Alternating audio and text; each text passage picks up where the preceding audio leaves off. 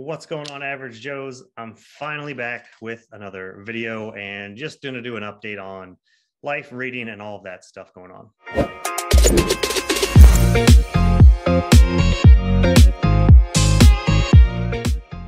So it's been a while since I've come out with a video because I've been doing lots of traveling. I put out a video a few weeks ago about updates, what was going on. I shot that from a hotel. I'm in another hotel and uh, halfway across the world on this one just haven't had a chance to record enough videos to get out.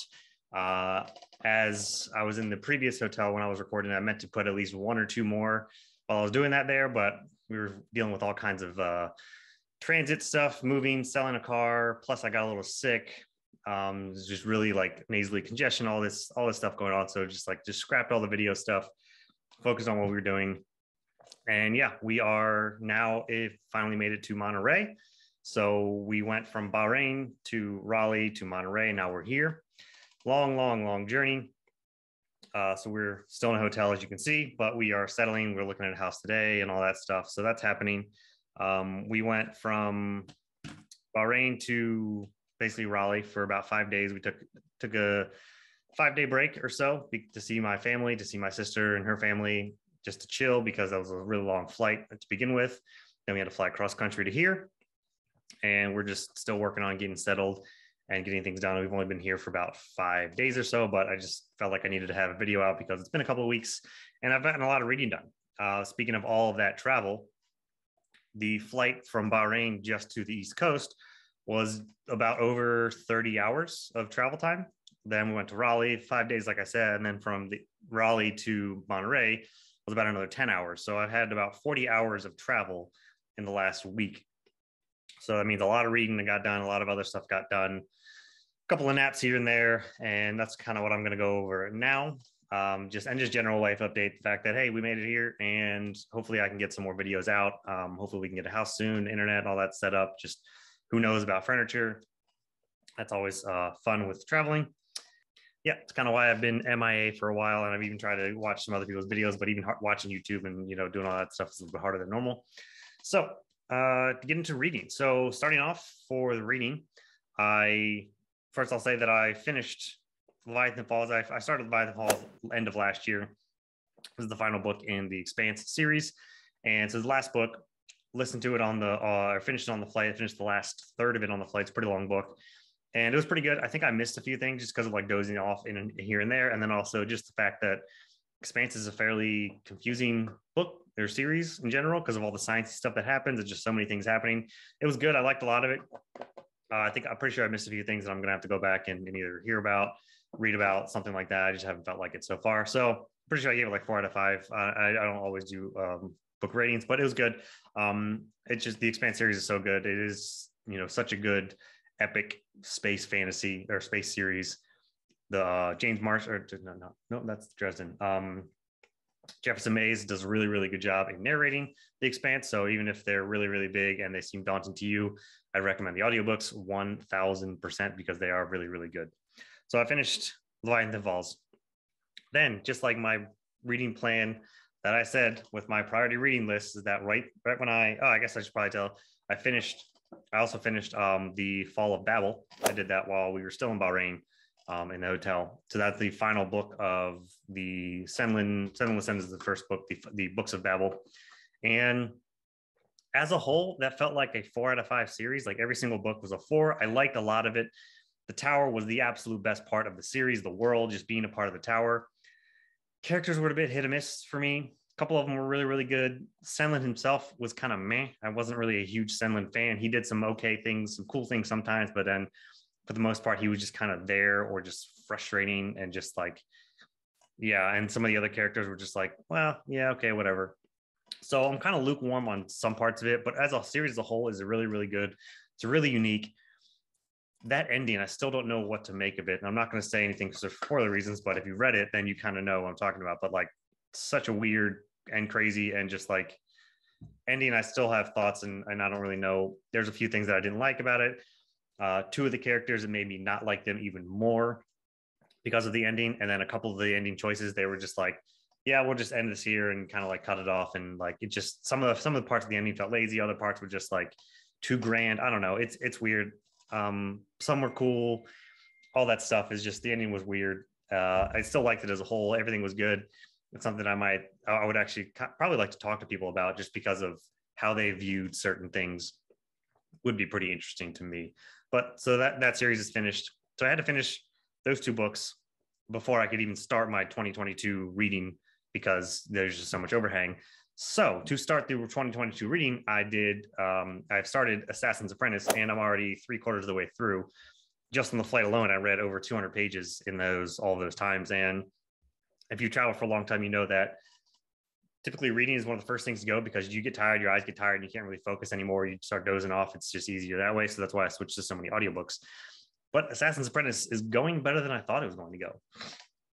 I was a bit worried because every time people would talk about Robin Hobb and her writing, is all of this about oh how good her her prose are, how good her uh, her descriptions and all these things are. And I'm just like, man, I don't want another overly long descriptive prosy type writing. I've done really really bad with those, DNF'd a few, but it's in first person, which I didn't realize, and that changes everything. The fact that it's in first person makes it so much better because I can understand their thought process and how they're seeing and viewing and doing things. And it just makes so much more sense to me than just an author taking their own liberties and describing everything they want to go on and everything, these side tangents and all this crap that I probably don't care about. But the fact that it's in first person makes it so much better. And I'm digesting a lot better, a lot easier. And Fitz is a decent character. I know people are like absolutely love Fitz or they feel so bad for him. And I'm just like, he's okay. He's like, he's kind of, he's kind of cool. Like there's kind of cool things. And I, I feel for him in some situations, but like, he's also kind of privileged and I don't feel that bad for him at times because like you, you're going to expect to feel uh, down on you for some things. Yeah, every main protagonist is going to go through hard times, or else they wouldn't be much of a main protagonist. They're just they would be kind of boring. So yeah, there's going to be people that don't like you. There's going to be all these things, but he's not that. He doesn't have it that bad. He's put up in a freaking castle. Um, yeah. So I've I've pretty good thoughts on on that series so far. I think I'm at like 72 percent. So within like a week, I've already read the first three quarters of it and should hopefully finish it within the next couple of days ish, depending on how much reading we get time wise, you know, moving and stuff. Then audiobooks. So after Leviathan Falls, because I had so much time on the plane, I needed to listen to another one instead of just reading the whole time. Oh, by the way, the plane that we were on, it's a military um, rotator charter plane, so we don't get TVs. They don't play movies. You just have your own stuff. There's like a one big TV in the front, like like you know decades ago when they did on planes, to where they play one movie for everyone. But I wasn't interested in any of those. Um, so I started White Knight, book nine of Dresden, and I've liked it a lot. I've knocked out the first three quarters of it, uh, just flying and doing all that stuff. I am a little bit farther now because um, now I'll just listen to it a little bit when I work out, and it's going good for the most part of the book. It was felt like a segue setup book. Like there was things were happening and you were you felt things were progressing, but it didn't feel like it was that much at stake, that grand in the grand scheme of things. It was just like, yeah, we're going to further along this person, we're going to further along this person, we're going to grow this a little bit, and then we're just going to go from there and see what happens. But as this book is ending, it's definitely opens up, which has happened in a few Dresden books. They've the more that's revealed, the more things are, are connected. So really, really liking it. Again, another Dresden book. I really like spacing out the Dresden books because a there's so many of them I still have, you know, eight more to catch up to whatever's out. And then there's still going to be another eight that still to come out. So spacing them out purposely is completely fine with me because it just feels so good. It makes you appreciate and feel so good to come back to the books. And the the narration is so amazing by uh, James Marsters, I believe. Um, I keep on getting this confused. Yeah. Awesome narration. Love the books. Uh, so after this one, I'll probably take several month breaks again, probably not till the spring till I read the next one because I like to spread it out. So that was a lot of reading that I got done in the last like week or so. Finished two books, got three quarters of the way through two other longer books. Um, yeah, so that's going great. And I'm actually not sure what I'm going to read next. Usually I have some sort of a plan, but with everything going on, I knew the first books that I was going to start. And after that, it's just like kind of a free for all. Let's see what I feel. And I have no idea what I'm feeling now. Um, potentials. I know I don't always talk about the the books that I'm considering reading next, but potentials that I'm thinking of are Unsouled. So I finally start the Cradle series.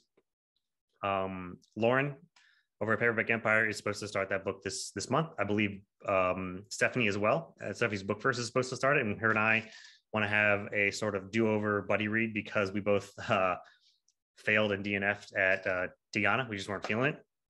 So Unsouled, we want to do that one. So I might hop on that one just because those two are reading it and it would just be good to have a good dialogue and people to talk with. And it's part of my priority read. It's on the second tier of my priority reading. It's short. It might be really fun to get to. So that's a high, high one. Nightmare Land, those are so easy to throw in. They're novella sized and 150 pages or something. I'm on book four. And those are just great in between palate cleansing esque books because they're short enough. I read them in a couple of days and it helps me think about what I want to read next, kind of like the di- digest between the bigger series. So those are really, really good. So Nightmare Land, or even I have short stories by KJ Parker and Allen over Library of Alexandria has really, really, and even Zara um, has really recommended and loved some of KJ Parker's short stories or novellas. So those would be easy to throw in. I think Purple and Black is the one that I would go with. And again, it would just be a nice segue book to be like, okay, I'll read this really quick. And then I can think about what I actually want to read after that. So those are up there. Winter World as well by A.G. Riddle. Um, again, Lauren is reading this one and uh, it has been recommended. And, you know, this is another Kindle Unlimited book. So, you know, props Kindle Unlimited. A.G. Riddle, I read the fur. I, I think I read three of his other ones in one of his Apocalypse series, the uh, Atlantis Gene. Yes, I got that right. Uh, and then always, of course, Star Wars EU. I need to continue my Star Wars EU reading. Those are like three or 400 pages, don't too long, and it's Star Wars. So those are just super easy since I already know the universe. You just jump in, see what the hell's going on in the world. You know, the, you know the universe, or whatever, and the politics, and then you just jump out, and it's like, okay, it's totally fine. So those are the potentials that I'm thinking of. Let me know if any of those appeal to you. Hopefully, I can put up these cards uh, and stuff uh, when I do the editing and then non-reading. So other things that I did on the flight. So that was 40 hours of travel. Just to recap, I didn't read the entire time because you can only focus on reading so much, and then you just start to go into a haze. So I watched. I actually watched a couple of episodes of The Witcher. I watched three. I pre-downloaded some, and it's funny because when I first, like last year, two years ago, when The Witcher first season came out, I tried to watch it, and it just felt really scattered, really weird. And I, I'd read the first book with all the short stories. Loved all, loved the very first book with all the short stories. Really, really good. But even watching the show, it just felt like like some things I recognized, some things not really too much. It was like, eh, I just couldn't get completely into it. Well, this past year, I finally played the Witcher 3 video game and going through all the world and seeing all everything how's going how's going on and the characters and knowing just knowing the world so much more through the video game made me want to watch the show and like the show even more. So I watched three episodes, binged the, the three episodes back to back, and I want to get to the next ones. I need to catch up to season two because that's where my wife's at, and that way we can watch them. So, yeah, much more into The Witcher now, and the video games help that, which is rare when it comes to like book adaptations. Usually, it's like okay, you read the books first, and then everything else you just kind of you just kind of get through. But the video games, I think, are the best representation of The Witcher. It really immerses you. It really helps you pick up everything because there's just so much going on in the Witcher world that the short stories don't completely grasp it. And then as you get the other books you just don't get enough of it i want but the but the games you just you get it all. So highly recommend that. I also played i had my switch with me. I played lego harry potter a really easy one to i was actually playing this while listening to dresden because lego harry potter doesn't take that much brain power. You just kind of can kind of just like do it. I set it up on my tray table and then took the joy cons out and yeah, I was just basically just going through puzzles, moving shit around with the wand, and and solving all these puzzles while I was listening to to Harry kill some demons and stuff. Uh, so that was good. That was a good combo. Um, so yeah, that was basically what I did on the flight. I got two decent naps in the first thirty hour leg, which it wasn't all that much in grand scheme of things, but at least I slept some, so not too bad.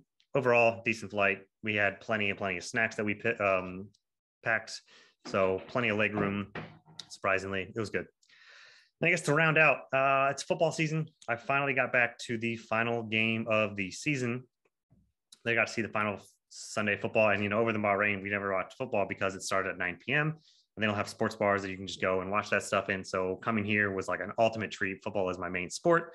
I got to watch the uh, Big Ben's final. I'm a Steelers fan, by the way. I got to watch Big Ben's final game in Baltimore. And coming from Baltimore, but being a Steelers fan, that was kind of cool to see. Watched it with one of my best friends growing up. He's a Ravens fan, so that was a good time. Um, and then obviously, I just saw them get their butts kicked against KC, but it was pretty much expected. Seems like everybody in the playoffs got either got their butts kicked or uh, kicked ass. So yeah, uh, love football. Enjoying having watching that, and especially on the West Coast. West Coast football schedule fantastic. Game starting at 10 a.m. So so good. anyway, that's pretty much what I got going on now. Um, we are looking at a house today. We've been car shopping as well. We got a car lined up. We got a house just about lined up. All those both those things basically just have to go sign and finalize and and you know cross the T's and dot the I's kind of thing. Uh, hopefully everything goes works out. But that's what's going on. Hopefully a week from now we have a house and internet, but we probably won't have furniture. Who knows when we're going to have furniture? When that's going to be delivered? It's all in storage. Uh, so yeah, that's just my big life update of what's going on. Well, what's going on with you? It's been a while since I've had a video out, since I've touched base with anybody. So how's everybody's reading going? What have you been reading? Uh, have you just have you gotten into your priority reads yet for the year? Uh, and what do you think I should read next for my potential ones? Let me know and let's chat more in the comments.